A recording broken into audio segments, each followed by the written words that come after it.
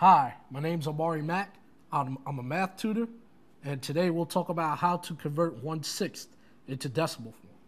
So let's write the fraction 1 over 6. What we want to remember with all fractions is that the fraction bar is just a division sign. So what we do is we divide the numerator by the denominator, and this will give us our decimal form. Now let's perform the long division. 6 into 1 does not go, that's 0. We'll add a decimal and bring it up. Add a 0, 6 into 10 goes once. Minus 6, 4. Add another 0, 6 into 40 is 6, which is 36. That's 4 also. If we bring down another 0, we get the same 40. So this 6 will actually keep going and repeat. So we'll write the line over it to indicate that.